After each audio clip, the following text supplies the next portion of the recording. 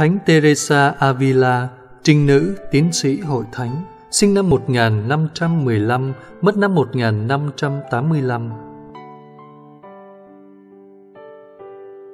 Sinh ngày 28 tháng 3 năm 1515, Teresa là một trong 12 người con của ông Alphonse Peda. Lớn lên tại Avila, vương quốc Castile, Tây Ban Nha, miền đất của mộng mơ và của các thánh. Ngài ham thích đọc sách dạy sống khổ hạnh và suy gẫm cuộc đời các thánh. Với lòng nhiệt thành, Ngài ngây ngất vì hạnh phúc vĩnh cửu, ân thưởng cho những đau khổ của các thánh, cũng như kính sợ những khốn khổ của hỏa ngục tồn tại mãi mãi. Ngài đã nói trong run sợ, ai có thể chịu nổi các ý nghĩ như vậy được? Mong mỏi được tự đạo, một ngày kia, Ngài lén dẫn cậu em Rodrigue đi về miền dân dữ tợn đang hành hạ các Kitô hữu. Nhưng mới đi được nửa dặm đường thì bị ông cậu bắt gặp và dẫn đưa về nhà. Không tự đạo được, các em sẽ trở thành những nhà ẩn tu. Các em tự làm những cái hầm và cầu nguyện lâu giờ tại đó. Nhưng rồi một ngày kia, những bức tường nhỏ bằng đá đã bị sập các em nhỏ thánh thiện này thường nhịn ăn để làm việc bác ái. Năm 13 tuổi, tức năm 1528, Teresa mất mẹ. Ngài khấn nài mẹ Maria là mẹ. Chuỗi mân côi trở thành việc sùng kính đặc biệt của Ngài. Teresa có một bản chất ngay thẳng, nhiệt thành và tha thiết mến Chúa. Khoảng 15 tuổi, Ngài lén đọc các chuyện kiếm hiệp làm cho Ngài ra mơ mộng. Lúc này, Ngài muốn mặc đẹp, sức dầu thơm, lo trang sức và thích được ve vãn. Chị em cho Ngài là cô gái xinh đẹp. Một cô em họ ngây ngất không muốn rời xa Ngài. Họ nói chuyện phiếm với nhau hàng giờ. Teresa nói, Tôi được cứu thoát chính là vì kính sợ Chúa điều mà tôi không bao giờ bỏ mất và vì sợ mất danh dự. Ngài còn nói, tôi đã rất ghê tởm những điều bất lương. Dù vậy, cha Ngài cũng lo âu và quyết định gửi Ngài học nội trú nơi các nữ tu dòng thánh Augustino. Teresa không thích thú gì, nhất là đã không hề muốn rằng sau này mình sẽ là nữ tu. Nhưng Ngài phải vâng lời và Ngài sắp tìm lại được lòng đạo đức nhiệt thành của tuổi thơ. Và Ngài sắp tìm lại được lòng đạo đức nhiệt thành của tuổi thơ khi sống gần các bậc thầy này. Hơn khi nào hết, Ngài khao khát những của cải đời đời, nhưng đời sống khắc khổ trong tu viện làm Ngài run sợ. Teresa ngã bệnh, Ngài trở về nhà cha và nghe ông cậu nhắc lại rằng mọi sự ở đời này chỉ là phù vân và sẽ qua mau như chớp. Sau cùng Ngài hiểu rằng ơn gọi của mình là sống đời tu sĩ, nhưng những chống đối dữ dội nổi lên trong lòng. Hơn nữa, Ngài phải coi thường những chối từ của cha Ngài. Năm 1536, Ngài vào dòng kín Camelo sau khi phải chịu đựng cuộc chiến đấu kinh khủng với chính mình.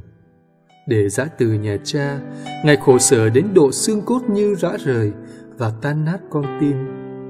Nhưng rồi ngài đã mạnh mẽ vượt thắng mọi cám dỗ đau khổ.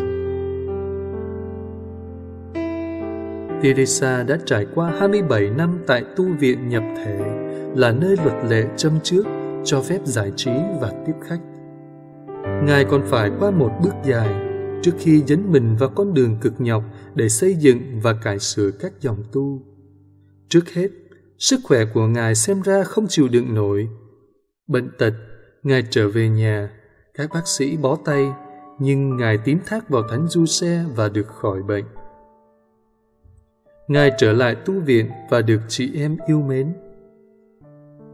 Cách nói chuyện hấp dẫn của Ngài lôi kéo nhiều cuộc viếng thăm. Ngài kể lại một đàng chú gọi tôi, đàng khác thì thế gian lôi kéo, cuộc chiến nội tâm sâu xé tôi. Ngày kia, trong một câu chuyện trần tục, Ngài đã được thị kiến thấy Chúa Giêsu đầy thương tích. Teresa thấy đau lòng, nhưng Ngài còn phải chiến đấu nhiều để đạt tới chỗ chỉ yêu các tạo vật trong Chúa và vì Chúa. Trong nhiều năm, Ngài đã trải qua sự khô khan, qua cơn sợ hãi hỏa ngục. Trong vòng 20 năm, Ngài đã không tìm ra cha giải tội hiểu được Ngài và muốn bàn về việc thị kiến. Thánh Francisco Boza đã trấn an Ngài.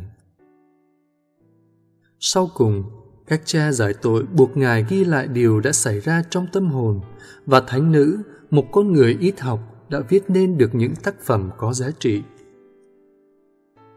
Nếu trước hết, sự sợ hãi các khổ cực đời đời đã dẫn Teresa vào đường hẹp, đưa tới chỗ cứu rỗi, thì bây giờ tình yêu Chúa xâm chiếm Ngài như cơn hòa hào. Các cuộc xuất thần tăng thêm, ba ngôi, đức trinh nữ, các thiên thần và các thánh hiện ra với Ngài. Ngài được nâng lên khỏi mặt đất và ở nguyên như vậy khi cầu nguyện. Vào tuổi 43, thánh nữ thường thấy đấng cứu thế và nghe người nói Cha không muốn con nói chuyện với loài người nhưng với các thiên thần.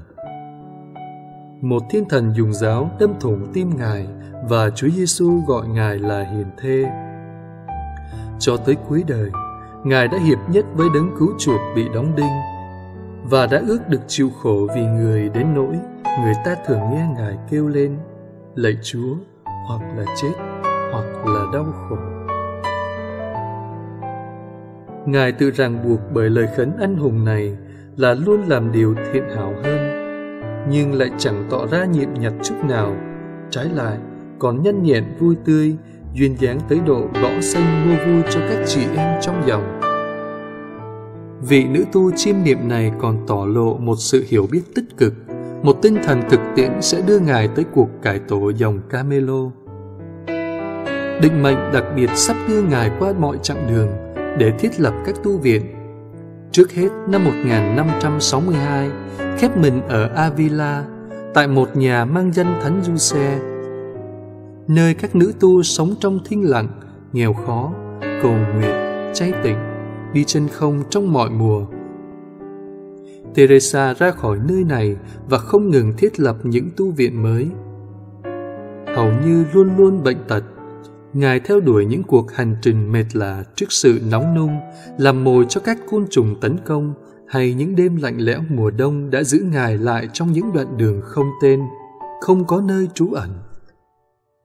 Những kẻ bắt bớ tấn công Ngài, Ngài viết cho một ân nhân. Cho tiền bạc chẳng là gì, nhưng khi chúng tôi đến lúc bị ném đá, thì công việc lại trôi chảy, và khi mẹ đã vượt thắng mọi ngăn trở và thiết lập các tu viện mới, những cơn đau đớn, nhức nhối lại đợi chờ Ngài. Vì phải đã từ con cái yêu dấu để ra đi xây dựng tu viện ở những nơi khác. Ngài nói, nỗi thống khổ đớn đau nhất làm tim tôi tan nát vì nghĩ rằng sẽ không còn gặp lại họ nữa. Được Thánh Doan Thánh Giá trợ lực, Ngài trải rộng việc căn tân tới các cha dòng các men mà Ngài muốn tái lập sự nghiêm ngặt ban đầu. Điều gây nên cho Ngài nhiều xôn xao và dường như làm cho Ngài bị cầm tù. Nhà vua và Đức Giáo Hoàng bảo vệ Ngài. Ngài đã thiết lập hơn 30 tu viện. Hoạt động chưa từng nghe thấy của Ngài, những việc thiết lập, những cuộc du hành, những khó khăn vô số đã không ngăn cản Ngài vui hưởng sự hiện diện của Chúa. Kiên trì cầu nguyện và thường xuất thần, Ngài nói, Tôi không hiểu tại sao người ta bảo tôi là nhà sáng lập, chính Chúa sáng lập chứ không phải tôi. Người ta còn nói lại những phép lạ của Ngài như tăng thêm đống bột để nuôi cả cộng đoàn. Khi đi qua đồng quê, nhiều gia đình lũ lượt xin Ngài ban phép lành. Giữa các hoạt động lạ lùng, Teresa vẫn viết về đời mình mà Ngài gọi là sách các kỳ công của Chúa và lâu đài nội tâm là nơi tâm hồn Ngài từng phòng một vươn tới uy linh Chúa. Với sự linh hoạt, Ngài đã dùng vài lời để tóm gọn tất cả sự thánh thiện như sau. Phải can đảm để trở thành phụ nữ của vua trên trời. Đừng lo suy nghĩ nhiều, nhưng là yêu nhiều. Ta nhân đức hơn khi liên kết với nhân đức của Chúa, hơn là dính chặt với phận bụi đất của ta. Nỗ lực của ta là bắt chước con tầm, xây tổ bằng cách tẩy trừ ích kỷ và thực hiện những việc sám hối cầu nguyện, hy sinh, vâng lời, Thiên Chúa sẽ biến ta thành bướm trắng khi Ngài muốn. Quan trọng là biết yêu mến và kính sợ, hai nhân đức vĩ đại. Khi bị đau khổ bên ngoài, cần chăm lo làm việc bác ái và biết hy vọng vào lòng thương xót của Chúa. Ngài có chút hài hước trong sự thánh thiện, như lời hóm hình được biết đến nhiều. Khi bị thương ở chân, Ngài nói, Lạy Chúa, sau bao nhiêu phiền muộn lại đến chuyện đó nữa. Cha đối xử với bạn hữu của cha như thế đó. Vâng, lạy Chúa của con, không là gì mà Chúa ít bạn. Lòng Ngài rào khắp thế giới. Những người Ấn Độ nghèo khổ này làm tôi đổ bao nhiêu là nước mắt. Teresa qua đời tại miền quê ở Anbe de Tome ngày 4 tháng 10 năm 1583. Chính vì tình yêu quá mức hơn là con bệnh đã đưa Ngài tới cái chết. Khi đưa thánh thể vào phòng, Ngài đã la to, Lạy Chúa, đến lúc chúng ta gặp nhau rồi. Và đời đời, Teresa đã hiệp nhất với tình yêu. Ngài được phong thánh năm 1628 và ngày 27 tháng 9 năm 1970, Đức Giáo Hoàng Phaolô thứ sáu đã đặt Ngài làm tiến sĩ hội thánh.